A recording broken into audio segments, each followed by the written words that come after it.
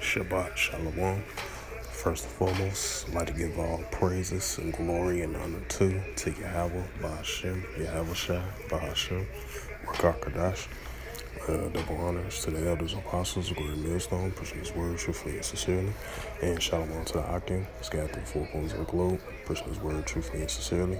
And shalom to the Akim, uh, that be like unto the speckled bird, pushing his word truthfully and sincerely.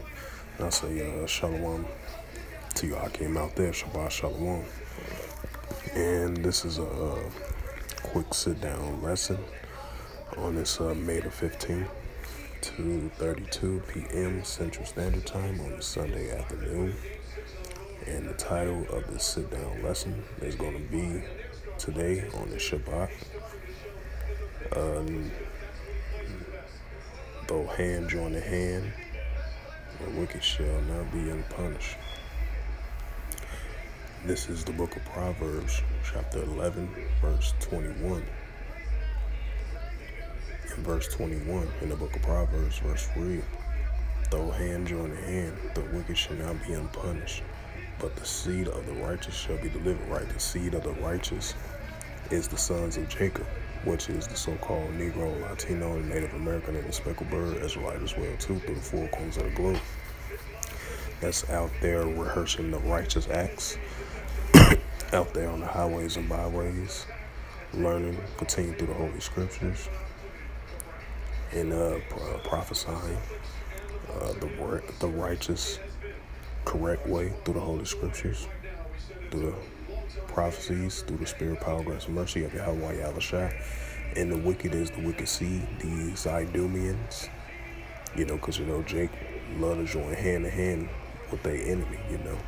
That's why it says, no hand join, though hand join hand, the wicked should not be unpunished, right?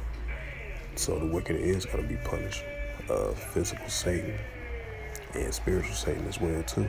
You know, the ultimate deceiver, which is the, these Idumeans, you know. Like uh, I just did in my previous video, you know, the devil should come down with great wrath because he know he have but a short time. That's why he coming down with great wrath, you know.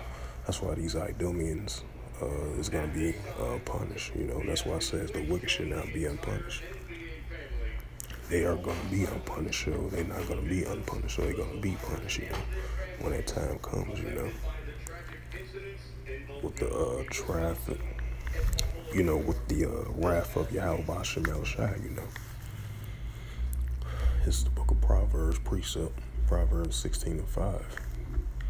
And it says, Everyone that is proud in, in heart is an abomination to the Lord, though hand join the hand he should not be unpunished.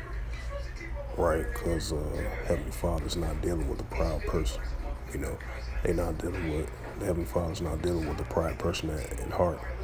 Your heart, which is your mind, you know. You know, Heavenly Father's not dealing with a high-minded, uh, proud, haughty spirit. You know, Heavenly Father's not dealing with that. Because Scripture says the meek shall inherit the earth. You know, the uh, meek, which is the Israelites, that's out there prophesying uh, meekness, humbleness, and sincerity through the four corners of the globe, which is the so-called Negroes, Latinos, and Native Americans, and the speckled bird Israelites as well too. Through the four corners of the globe, they have that uh, meekness, humbling spirit, you know, truthfully and sincerely, you know, because the Heavenly Father's not dealing with a proud person, you know, He's not dealing with a proud Idumeans. You know, he's not dealing with proud Israelites. He just he's dealing with humbling Israelites. You know, because the Heavenly Father's not dealing with a proud, arrogant, haughty person. You know, he's not dealing with that. He's dealing with people, people of his own race, meekness, humbleness, and sincerity. You know. Like the scripture says, I roughly paraphrase, pride go before destruction, you know and the haughty spirit is a fall to them, you know. Uh, this is the book of Psalms, chapter 112, verse 1 through verse 2. And the book of Psalms, chapter 112. And the book of Psalms, of the verse 112.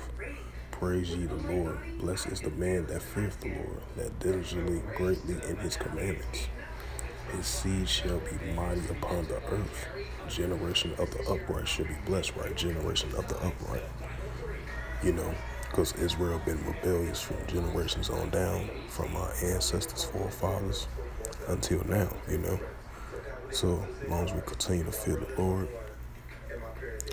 and you know that's why it says, "Praise ye the Lord, and blesses the man that feareth the Lord." Right, blesses the man that feareth the Lord, which is the sons of Jacob, which is the so-called Negroes, Latinos, and Native Americans, and the speckled bird Israelites as well too. You know, and that we diligently seek to keep his laws, statutes, and commandments, you know, to the best of our ability, you know, because even though we can't keep all 613 laws, you know, but we keep the laws, statutes, commandments to the best of our ability, you know. And as long as we continue to uh, fear the Lord and praise Him, you know, and diligently continue to uh, keep the laws, statutes, commandments to the best of our ability, you know, and we should be fine, you know through the spirit, power, grace, and mercy of Yahweh Yahushua.